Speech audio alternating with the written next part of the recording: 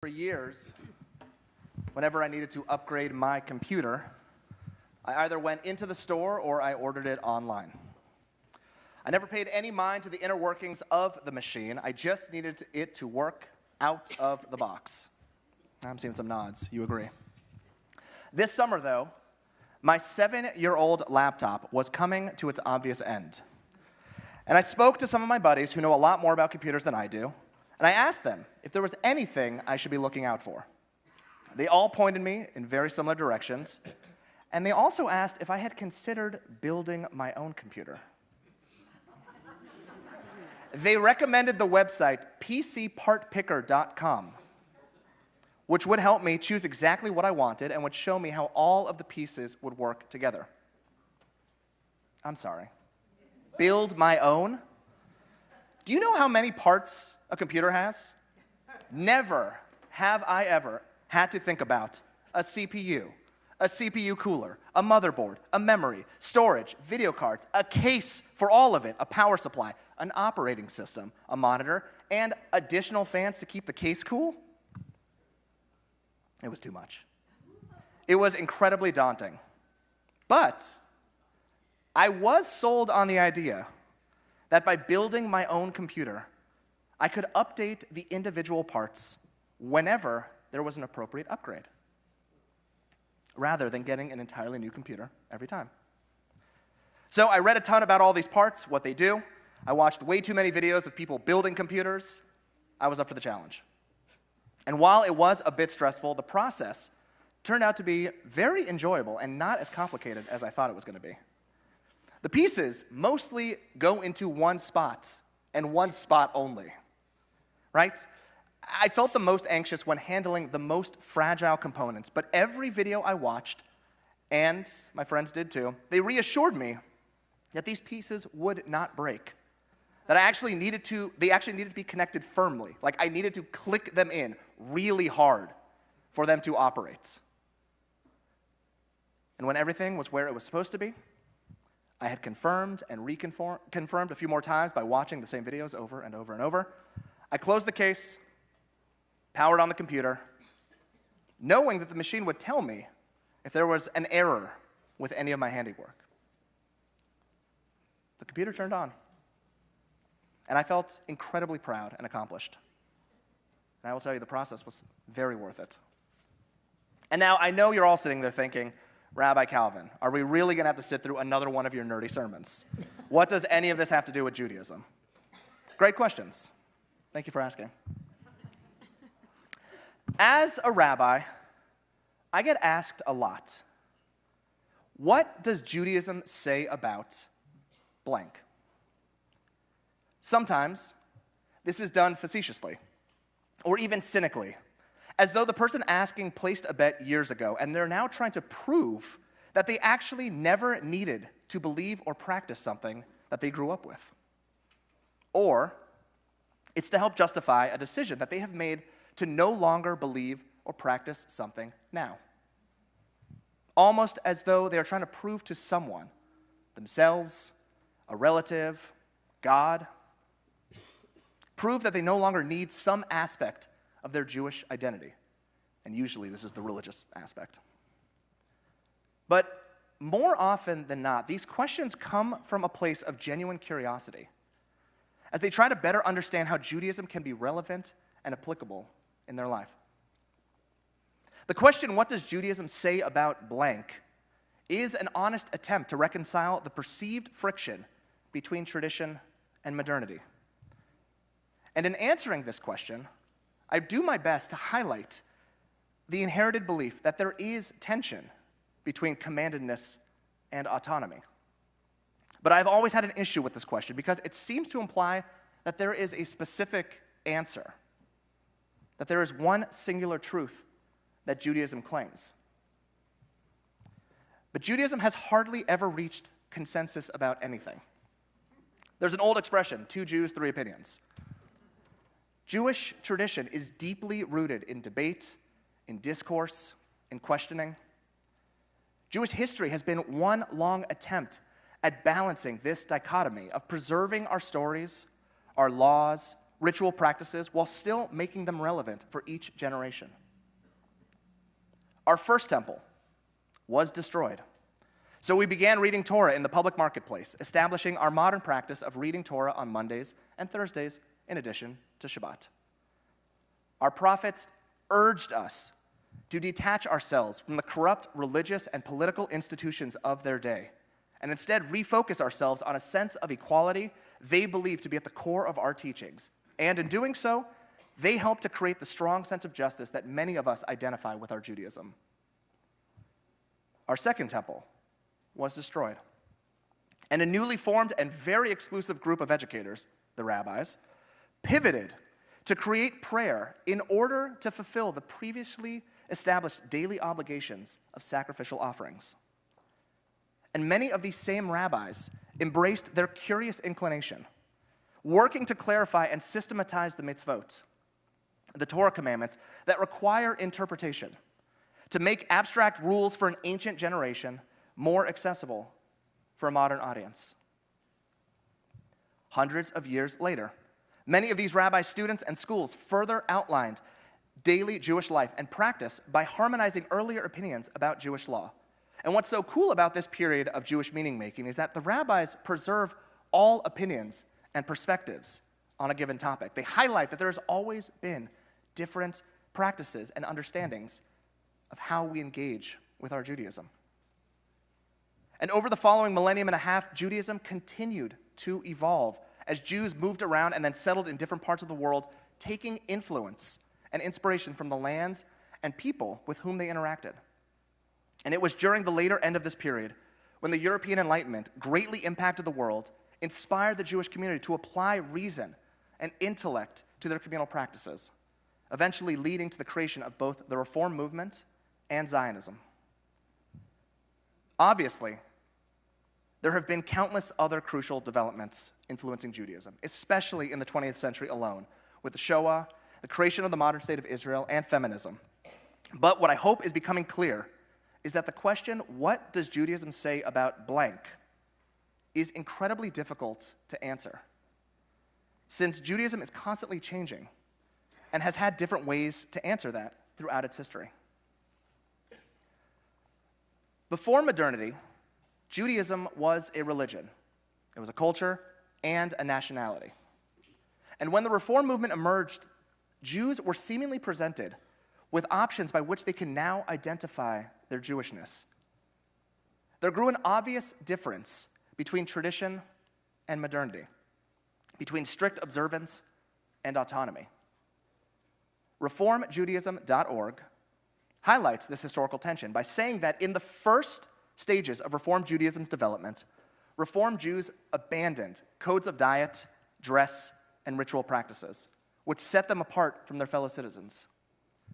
The adaptations to modern culture, however, entailed sacrificing a Jewish identity that had defined the Jewish people for generations. When freed from the yoke of halakha from religious law, Judaism was recast as an all encompassing way of life to a simply just a religion. Just as Christians worshiped in a church, Jews worshiped in a synagogue. But in all other respects, Jews were just as European or American as their non Jewish neighbors next door. The more observant and traditional Jews claimed that this was a deviation from God's law, that reformers were illegitimate in their attempts at changing Jewish practice. Religion and religious law had defined Jews and Judaism for millennia, but the reform movement leaned in.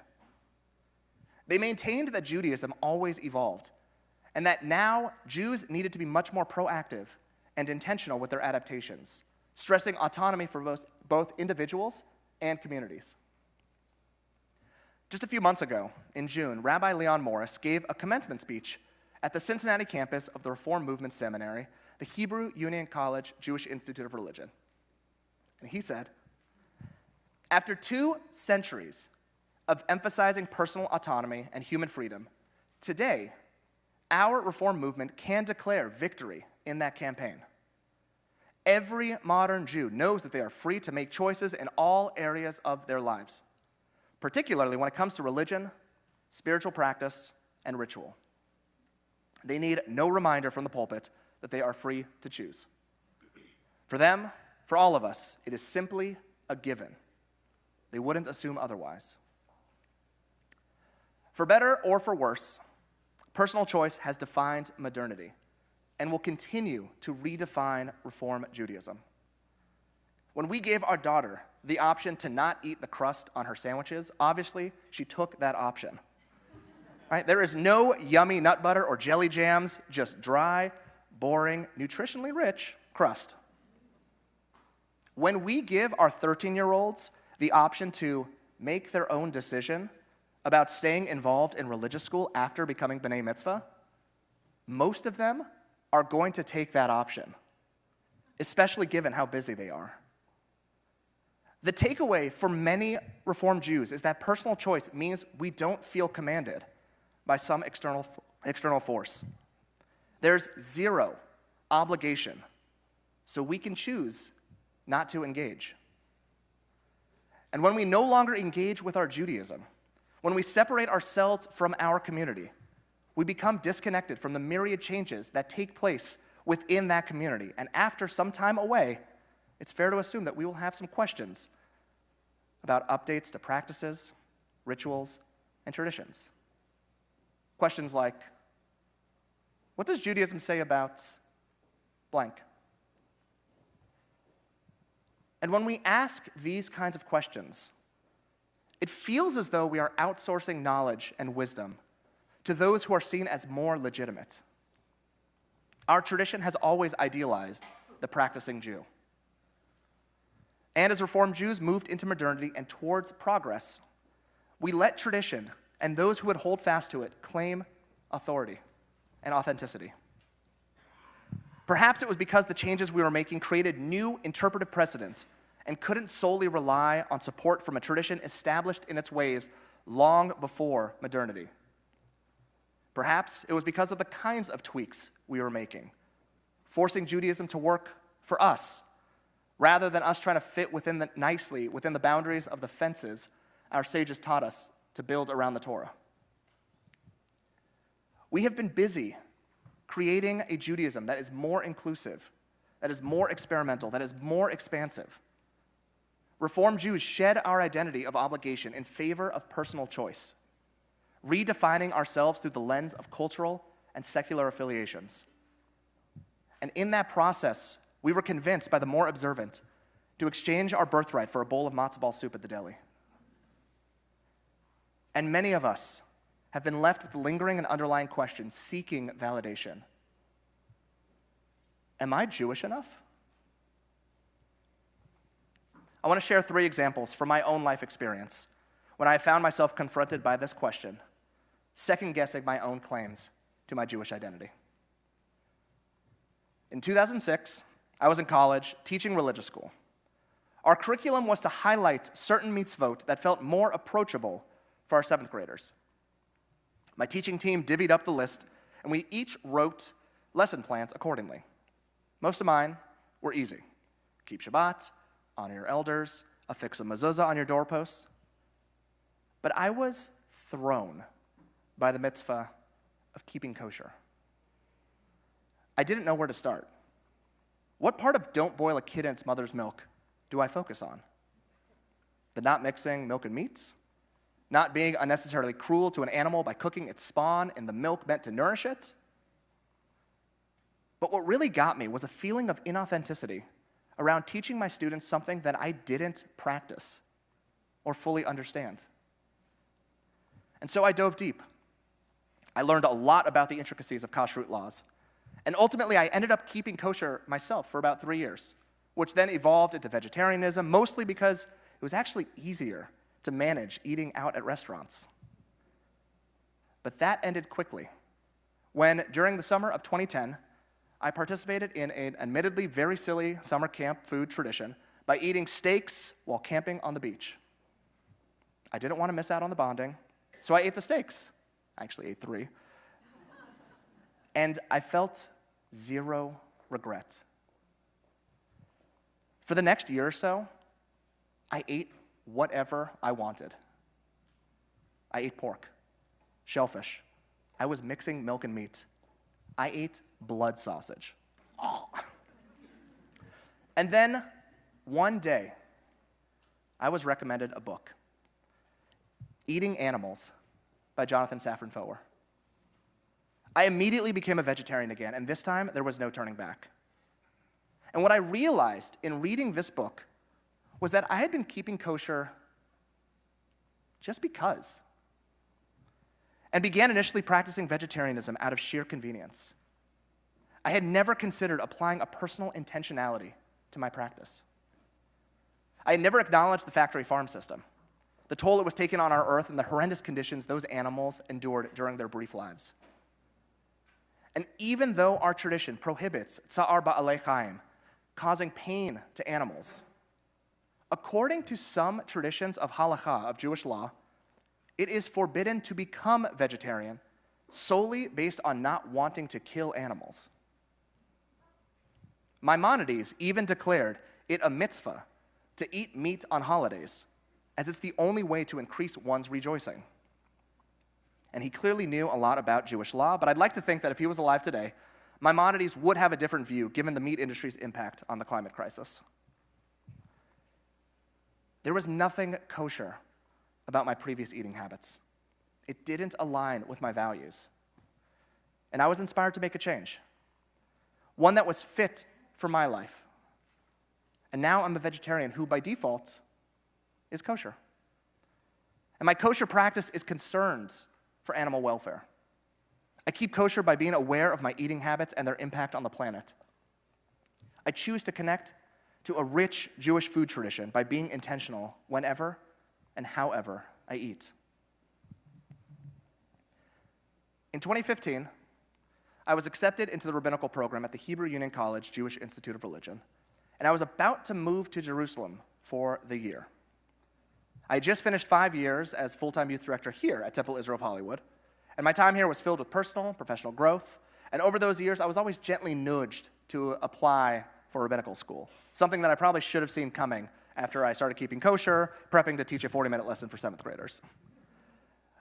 But before I was accepted, the in person interview ended with the standard You got any questions for us? Um, yeah. So my dad is Jewish, but my mom is Catholic. Am I going to have to convert? Or at least have some kind of like affirmation ceremony? And while the faculty all looked at each other, trying to figure out which one of them was going to reassure me, I had already clocked Rabbi Devorah Weisberg at the end of the table, furiously shaking her head, as though she was emphatically signaling to whoever wanted to field this one that there was no cause for concern. I was told such, and I left. But I still emailed Rabbi Devorah because I just wanted to chat just a little bit more. And so we set up a meeting, and I came in. She was incredibly generous and gracious with her time. And I told her that I was fully aware of the Reform movement's rulings on patrilineal descent, and that I knew that the child in question must have been raised with holiday observances, ritual practices, etc. I checked all of these boxes. At this point in my life, I had gone to religious school. I'd become bar mitzvah. I had grown up at a Jewish sleepaway camp for 16 years straight and had taught at two different temples. I explained that my primary concern was for my future congregants, specifically for ones who came from a more conservative or traditional background. I was worried that they might be uncomfortable if they discovered that my Jewish upbringing didn't align with how they understood Jewish identity. And for those who don't know, more traditional denominations of Judaism track Jewishness through the mother. And in their eyes, I am not considered fully Jewish. I would need to have a traditional and halakhically approved conversion in order to validate my identity as a Jew. When I was finished venting my anxieties, Rabbi Devorah calmly explained to me that I was Jewish, that Reform Judaism proudly acknowledges and accepts anyone as Jewish if they have one parent who is Jewish and that there was a semblance of intentional Jewish practice during that individual's upbringing. She also said that if any congregant takes issue with this, they should reflect on why they left their more traditional community for a reform one. So I went to Israel and experienced that country in all of its complexity. I struggled through the language. I struggled through having to deal with an Israeli landlord. I struggled through constant reminders that although the majority of the country's Jews consider themselves Hiloni, secular, there is a loud and growing number of religious Jews who are working to preserve traditional practices and understandings of Jewishness at the expense of anyone else who calls that land home. And during my year there, I also discovered that there is a small but growing reform movement. I even had an internship at one of the congregations.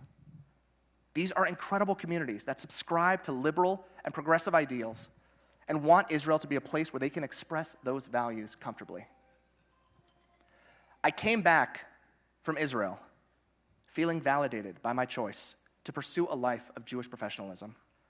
I was excited to continue training at HUC JIR, honing my skills to be a better service to my future communities, to help them navigate some of their own big questions, always reinforcing that their path was true and that their choices mattered. Earlier this summer, I was asked to co officiate a wedding for one of my old campers. We met over Zoom so I could get to know them a bit better as a couple, and I learned that her fiance had grown up as modern Orthodox. They both spoke about how much they appreciated each other's Jewish upbringings, how their different perspectives help to inform their relationship and the choices they make as a Jewish couple. He even described his communal and personal practice as muscle memory Judaism, that there was never a whole lot of thinking about the meaning behind the practice. We concluded our meeting, and they said that the fiance's childhood Orthodox rabbi was going to lead parts of the ceremony, but that the couple had spoken about how important it was to her that she also felt represented under the chuppah by having a rabbi present who knew her and her Judaism. A month before the wedding, I got a text from her saying, Hi, so the rabbi isn't okay with my strapless dress, and I am firm on the boundary of not changing what I've chosen to wear. So he's going to try to find another Orthodox rabbi who is okay with it, but we may end up needing you for the whole shebang. Okay, thanks. We texted back and forth a few more times leading up to the wedding, and they indeed found another Orthodox rabbi to step in. And I was told that this rabbi would be in touch with me before the ceremony. He was not. And it wasn't until the day before the wedding that the wedding planner sent me an outline of the ceremony. And as I read through it, it seems as though the Orthodox rabbi was going to be leading pretty much all of it. But there were a few question marks, so I figured he and I would speak before the wedding, and we'd sort it out. The afternoon of the simcha, I got to the venue. I hugged the couple. They looked happy, excited, loved. I met the other rabbi, incredibly nice guy, like super friendly. And then I started meeting the groom's Orthodox family. And when I say meet, I mean quick hellos with hardly any acknowledgement of my presence. They were much more generous with the Orthodox rabbi. I even heard the groom's mother say a few times before the ceremony Baruch Hashem, Rabbi, thank God you're here. You really saved the day. Strong start. Just before the ceremony began, the other rabbi and I were schmoozing under the chuppah, waiting for the green light from the wedding planner. I was organizing my folder now that I had clear understanding of what I would be leading, and I know you're all worried. Trust me, my part was still substantial. Once I felt good, I put my folder down, prepared to put on my talit, which I usually wear for these ceremonies as a part of my uniform. Fun fact halachically, an outward facing talit is only to be worn during early morning prayer services, as the mitzvah pertains to the ability to see and remember the commandments. And the rabbis determined that you need morning light in order to distinguish between your talit and the fields in which you were praying, specifically to determine the color of the dye that you were using. Yada, yada, yada. Great. Today, though, many Reform rabbis, we here at TIOH included, choose to wear a talit whenever we conduct a service, especially on a Friday night, since not only has it become so widespread as to normalize the practice in the Reform movement, but it usually is the only time many of our members of our adult community see us. They see their rabbis. And this talit helps us to look the part, make us a little bit more official. Back to the wedding. In the past, The only time I don't wear my talit at a wedding ceremony is when it's too windy and it would become a distraction. And knowing all this about the halakha, I was already questioning whether I wanted to wear my talit during this early evening ceremony because of what it might cause the more traditional and observant sides of the family to think of me as a rabbi. You should also know that it was a very schwitzy 97 degrees, just entirely too balmy and sticky for a 6:30 p.m. ceremony, with the chuppah directly in the setting sun. I had an out, halachically and meteorologically. All right, I did not need to wear this talit. And I could still feel the other rabbi watching me, trying to figure out if he needed to jump in to remind me what Jewish law said. So I mentioned the heat and in what seems like an out that I had gifted him, he very nicely said, Oh, of course, no, it's too hot to wear that. That's crazy. So the ceremony began, and I chose not to wear the talits because of the heat. And the Orthodox rabbi officiated over the more traditional moments of the service. He led the ketubah ceremony beforehand, and he even framed it as an acquiring of the bride by the groom and that the commitments listed on the document were only being made and agreed upon by the groom. He led the erusin, the ring exchange, under the chuppah, and he even found two other witnesses because originally the two witnesses chosen by the couple were family members, and this is forbidden in halakha. The rabbi even asked these two new witnesses to do tshuva before they stepped up to serve as witness. And this was literally like two minutes before the ceremony started. This is how he saved the day by overseeing the legally binding parts of the ceremony so it would be considered official. But all of these legally binding moments were done off the microphone, just spoken to the groom. The bride was hardly involved in the process, and the people gathered to help celebrate them were sitting through a good chunk of the service in silence when it was appropriate and as a part of my role, I transitioned through some of these silent moments, helping to explain what we were doing and why, bringing not only an awareness of the significance behind these rituals, but also as an inclusion of the community who was invited to share in these moments. The ceremony ended. The happy couple rejoiced. And throughout the rest of the evening, so many people, including the groom's Orthodox family, found me to tell me how beautiful the ceremony was and how grateful they were for my framing of the rituals. And did I mention I was the only rabbi who stayed to dance? I think we have taken our Reform heritage for granted.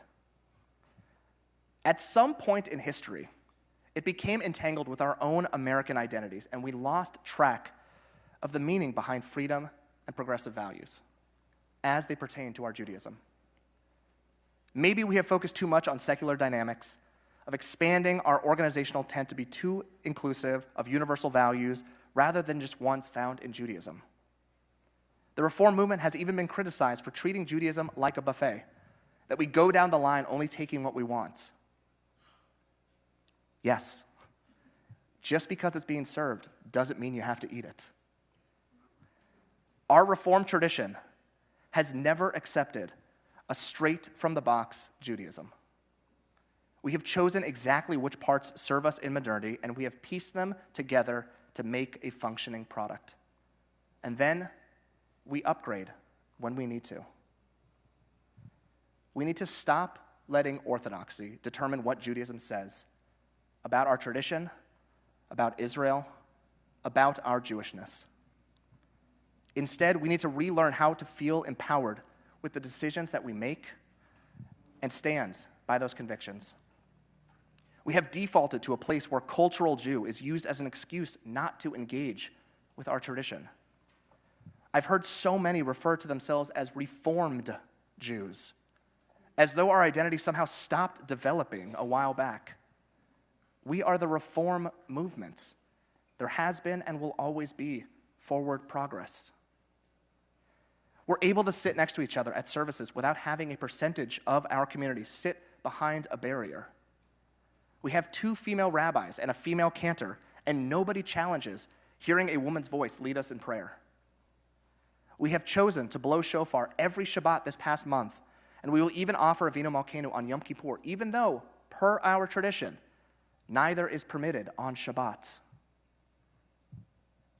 You are not a lesser Jew if you eat bacon, if you don't know Hebrew, if you have concerns and questions about Israel, or if you only show up to temple once a year for the high holidays. You are still showing up, and you are still engaging with your Jewish identity whenever these actions trigger questions of authenticity for you. My practice has changed, it has evolved, and it has changed again. Judaism should be flexible enough to flow with me. And you know what? The Reform movement is. It always has been. And we don't need to handle our Judaism with as much care as we may think. Our tradition has gone through a lot. We are not going to break it. I refuse to let us be a muscle memory Judaism. But I do think that we need to work that muscle. We are Israel. We are God wrestlers. And the Reform movement has always been better equipped to handle what modernity throws our way because we are proactive with our practice. We don't just read about Jewish values in our text, we go out and we enact them. We see the problems out in the world, and we are on the front lines helping to fix them. This has always been our ever evolving identity. This is the gift that we hand down to the next generation, and we need to do a better job at preparing them with the necessary skills to ensure that they also feel empowered to make informed choices and act accordingly. There is no monopoly over thought or practice in Judaism, regardless of the, what the more observant streams of Judaism want us to believe. Some of the most traditional don't even see us as real Jews. That is fine. They do not speak for us. As we enter a new year, I want to bless all of us with purposeful practice and empower each of us to bring personal intentionality to our choices. Sure, Many of us don't feel the same sense of obligation, but we need to remember that we were invited. We deserve to be here. And you are always welcome here, in the Reform movement, at Temple Israel of Hollywood, just as you are. And we can't wait to hear what you have to say about Judaism.